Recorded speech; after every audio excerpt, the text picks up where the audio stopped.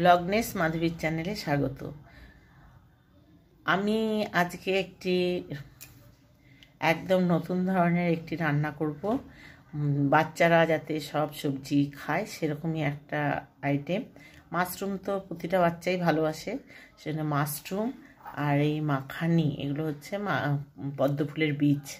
এগুলো কিনতে পাওয়া যায়, এটাও কেনা মাশরুমও কেনা। আমি এতে কি কি দিচ্ছি? উপকরণগুলো একবার বলছি। মাশরুম, ক্যাপসিকাম, এটা গাজর, এটা বিনস, ফুলকপি, এটা বরবটি, কাঁচা লঙ্কা, অল্প একটা আলু আর একটু রসুন। এটা আর এই মাখানি। হুম, এই দিয়ে আমি আজকের প্রিপারেশনটি তৈরি করব। মাশরুম সবসময় গরম জল দিয়ে ধুয়ে নিতে হয়। আমি প্রথমে গরম জল দিয়ে ধুয়ে নিয়েছি। এখন আমি মাশরুমগুলো আরেকবার পরে ধোবো। এখন আবার কেটে নিচ্ছি সমস্ত সবজির সাথে। ক্যাপসিকাম কেটে নিয়েছি হাফ কাপ ক্যাপসিকাম। আর কাঁচা লঙ্কা কাঁচা লঙ্কাটা আনা হয়নি কাঁচা লঙ্কা দেবো এর মধ্যে। আর দেব একটু পেঁয়াজ আর নুন হলুদ সর্ষের তেল দিয়ে আমি প্রথমে মাশরুমগুলো দু ভাগ করে নিচ্ছি। ছোটোগুলো দু ভাগ করছি আর বড়গুলো তিন ভাগ করে নেব। এবার মাশরুম কাটা হলে সমস্ত সবজিগুলো এক এক করে কেটে নেব। কেটে নিয়ে যেগুলো একটু বড় সেগুলো তিনটে ভাগ করে নিচ্ছি। আর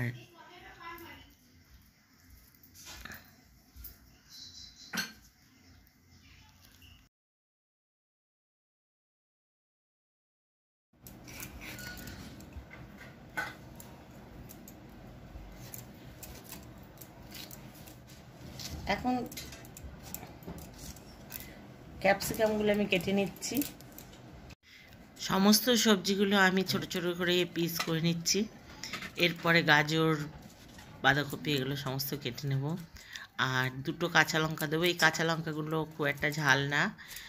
ওই জন্য দুটো দিচ্ছি বাচ্চাদের খাবার তো। যে সমস্ত বাচ্চারা কোনো সবজি খেতে চায় না, শুধু মাছ, মাংস, ডিম, এছাড়া তারা কিছু চেনে না, তাদেরকে এই, এইভাবে খাওয়াতে হয়। আমাদের এইভাবে করে খাওয়াবেন তাতে ওর উপকার কিছু তো উপকারটা হবে। সেদ্ধ করে, রান্না করে খাওয়ালে যেমন হয়, খুব কম মশলার উপর আমি রান্নাটা করছি। আর যে সমস্ত বাচ্চারা খায় না বা বড়রাও অনেক সময় মাশরুম খেতে চায় না। অনেক বড় মানে যারা আমার কর্তা যেমন, উনি মাশরুম খাবেন না। কিন্তু আজকে যেই পকোড়া করে দিয়েছে, উনি মাশরুমগুলো দুটো, তিনটে পকোড়া তখন খেয়ে নিতে পারে। বুঝতেই পারে না যে ওর ভিতরে কী কী আছে।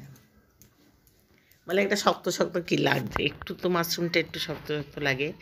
আর সব থেকে হচ্ছে এখানে সব রকম প্রোটিন, ক্যালসিয়াম থেকে আরম্ভ করে যাবতীয় যা আছে, vitamin C, vitamin A vitamin A, যা বলবেন, যত রকম ভিটামিন, সব রকম ভিটামিন আমি এর মধ্যে দেবার চেষ্টা করেছি। যেমন ধরুন, মাখানিতে প্রচুর পরিমাণে ক্যালসিয়াম আছে। আর মাশরুমে তো সবাই জানে কতটা হাই প্রোটিন মাশরুমে। বাঁধাকপিতে ফুলকপি সব কিছু বাচ্চারা যেমন খায় না, তেমনি যার জন্য আলু দেবেন, আলু ভাজা খায়, আলু সেদ্ধ খায়, আলু যা করে দেবেন তাই খাবে। সেজন্য আলু আমি একটাই আলু দিয়েছি, বেশি এই কারণে দিইনি, যে আলু তো অন্যভাবে খাওয়ানো যায়। আর রসুনটা দেওয়া এই ইমিউনিটি পাওয়ারের জন্য এই বছরে করোনার জন্য আমি এইভাবে প্রায় সময়ে রান্নাগুলো এইভাবেই করি। সব রকমই যাতে খায় বাচ্চারা। লাস্ট অবধি দেখুন আমি জিনিসটা কি করতে চলেছি। একটা গোটা রসুন কিন্তু আমি দিয়েছি। ফোড়নে অল্প চার পাঁচটা দিয়েছি আর কাঁচা এর মধ্যে এই সবজির মধ্যেই দিয়ে দিয়েছি। এটা বাঁধাকপি। বাঁধাকপিটা বলা হয়নি।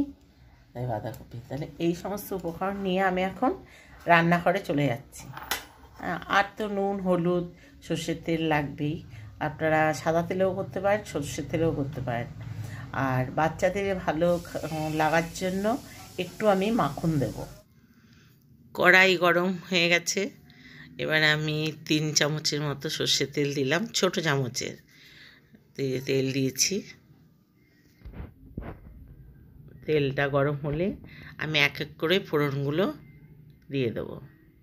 কী কী দিচ্ছি?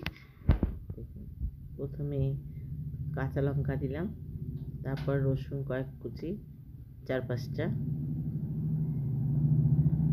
পেঁয়াজ একটা ছোট, ক্যাপসিকামটা দিয়ে দিলাম। একটু নাড়াচাড়া করে সমস্ত কাঁচা সবজিগুলো ভালো করে ধুয়ে রেখেছিলাম। সমস্ত সবজিগুলো দিয়ে দিচ্ছি। এবার একটু নুন দিলাম এক চামচের মতো। হলুদ হাফ চামচ, ছোট চামচের একটু জিরে গুঁড়ো, একটু ধনে গুঁড়ো, এই সমস্ত উপকরণগুলো দিলাম।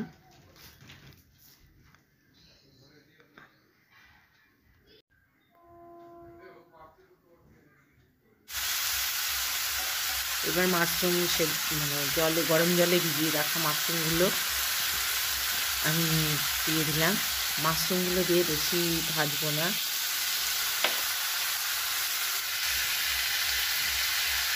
এবার মাখানিও সবটা দিচ্ছি না অর্ধেকটা দিয়ে দিলাম মাখানি। এগুলো পদ্ম ফুলের বীজ। এগুলো কিনতে পাওয়া যায় বাজারে প্যাকেটে করে এগুলো বাচ্চা খুব প্রচুর পরিমাণে ক্যালসিয়াম।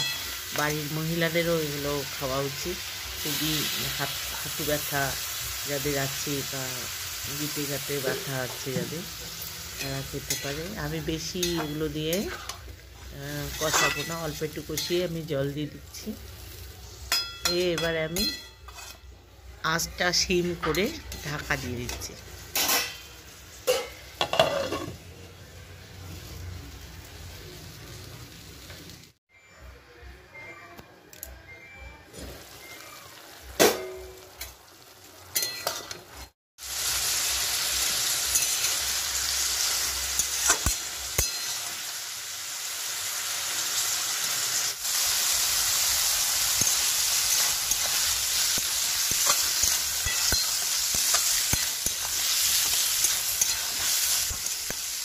আমার এটা এখন রান্না হয়ে গেছে। এবার আমি এটা একটা বাটিতে ঢেলে ঠান্ডা করে কিছুক্ষণ পর আমি এটাকে এর মধ্যে আমি এখন এক চামচি আর দেড় চামচির মতো বেসন দিলাম আর মুড়ি গুঁড়ো করা। এটা মুড়ি গুঁড়ো দু চামচির মতো মুড়ি গুঁড়ো দিয়ে আমি এটাকে আগে গরম তাই আমি হাত চামচি দিয়ে মা, মাখছি কিন্তু এটা হাত দিয়ে এরপরে ঠান্ডা করে হাত দিয়ে মাখব। হাত দিয়ে মাখলে বেশ ভালো হয়। ভালো করে মেখে এবার আমি ছোট ছোট গোল গোল ইয়ে করে নেব, ডো করে নেব ভাজার জন্য।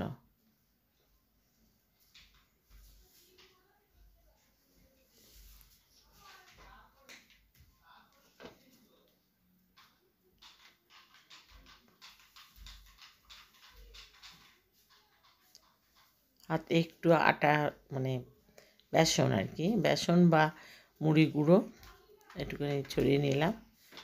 এতে বাচ্চাদের মুড়িও খাওয়া হবে, আবার সমস্ত সবজিও যাবে।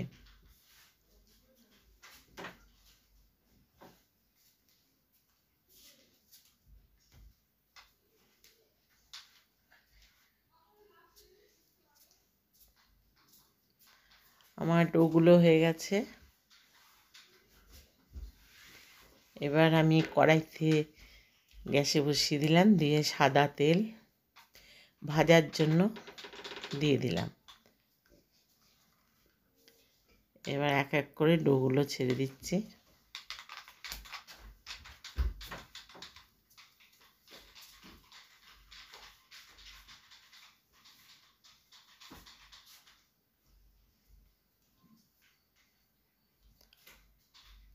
প্রথমে তেলটা গরম করে নিতে হবে, তারপর আঁচটা কমিয়ে এটা আস্তে আস্তে ভাজতে হবে। ভাজলে জিনিসটা খেতেও ভালো লাগবে আর মুচমুচে হবে।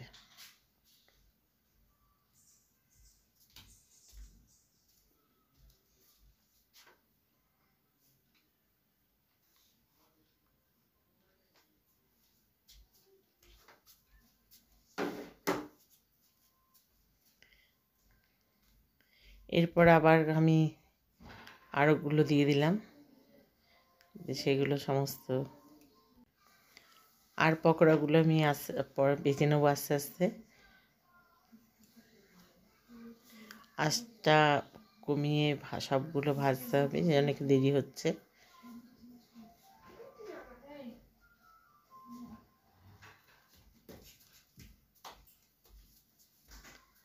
আমার এগুলো ভাজা হয়ে গেছে। তুলে নিচ্ছি।